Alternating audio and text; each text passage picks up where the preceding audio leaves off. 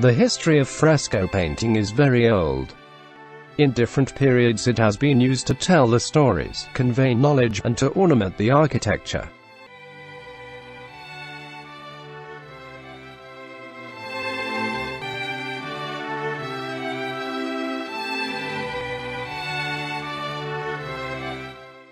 Fresco paintings are discovered in almost every part of the world.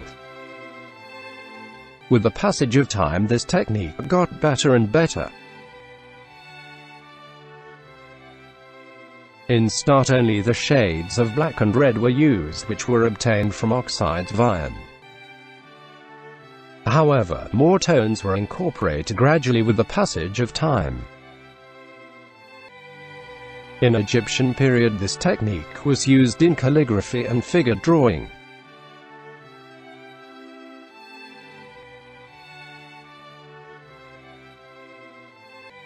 However Egyptians were not painting realistically.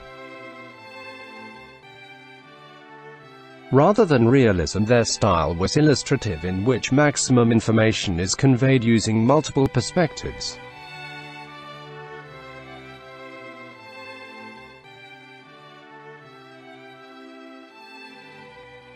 In Europe Minoan art is also based on fresco technique. Their work is more realistic and in better condition. Greeks had also contributed in fresco paintings and decorated their temples with religious subjects. When the Greeks were constructing temples another parallel civilization was also working on fresco painting. Their work can be seen in Indian subcontinent in Ajanta caves.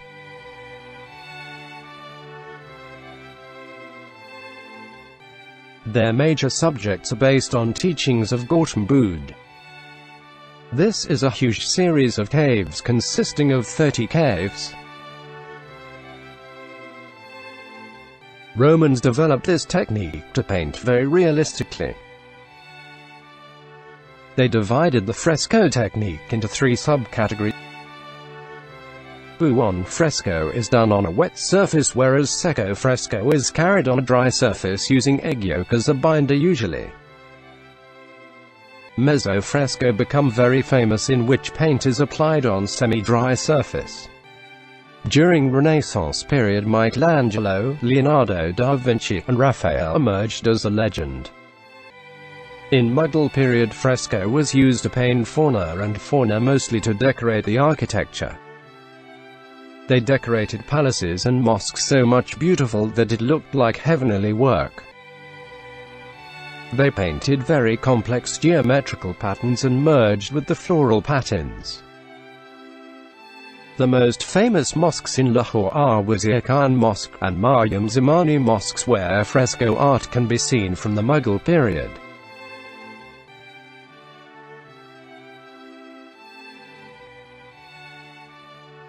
The work in mosques which was once one of a kind are now on decline due to mismanagement and carelessness.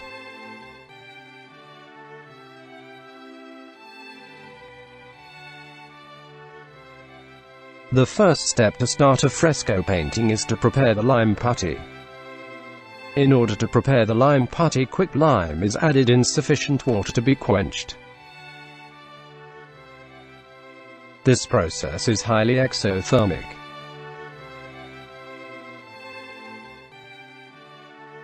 When the entire lime is quenched and the solution becomes cool, it is sifted with the help of a piece of cloth. The lime water passes through the cloth leaving silica and clinker behind. After a certain time the lime settles down and a gradient of water and lime is formed.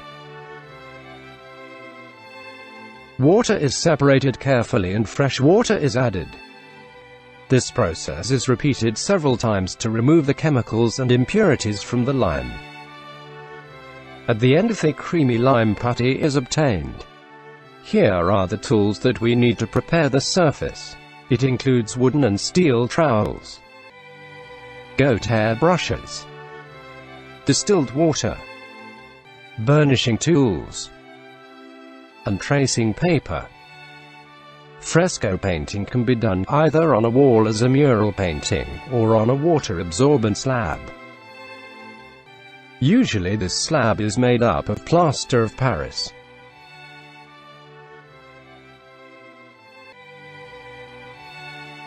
The thickness of the slab must be half inch minimum.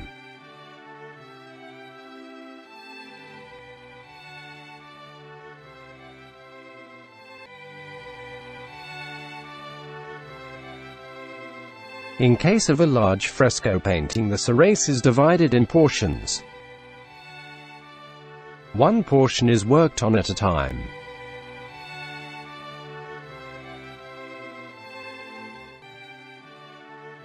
When the surface is prepared, a thin layer of lime putty is applied on it.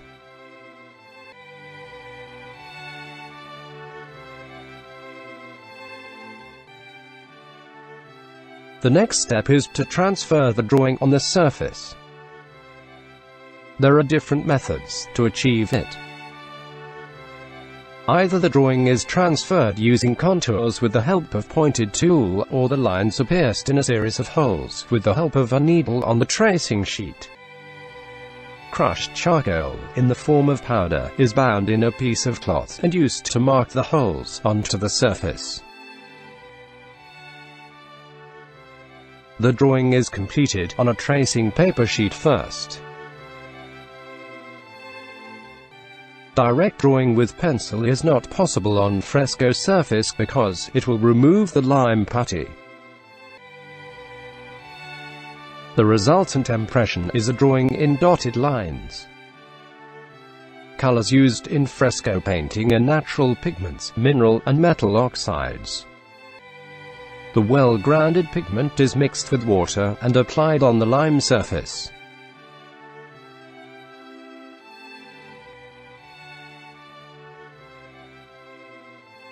When the colors are applied in fresco, they have translucent effect like watercolors.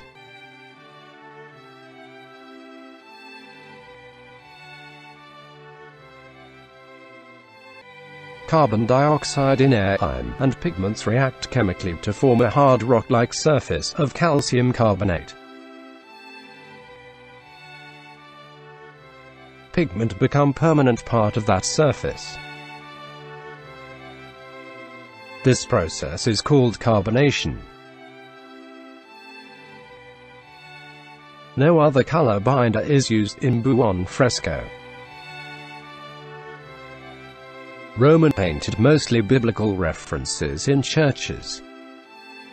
This work was commissioned by the churches. Fresco painting is completed in steps.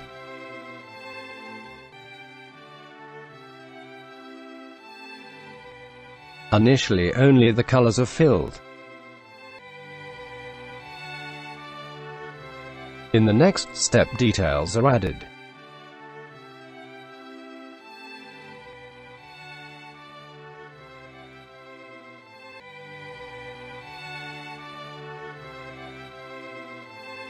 Shadings and darks added in the last step. It should be taken care of that lime doesn't dry until the painting is complete. Otherwise it would not absorb the paint. On drying the pores of lime coating are closed and intake of color pigments is stopped. When one portion is complete its edges are cleared, so that the plaster of next portion becomes part of it. Same process is followed for each step. Fresco technique is very long-lasting technique and lasts for thousands of years, if done in a right way.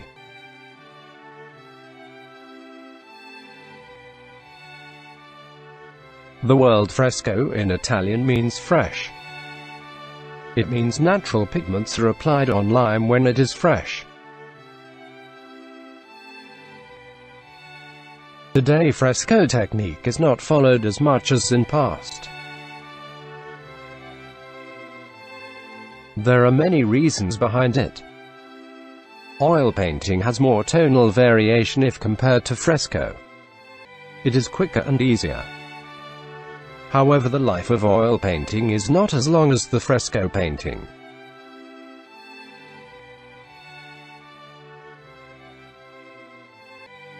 Today the fresco painting is done on a smaller scale either on slabs made up of plaster of Paris or ceramic tiles.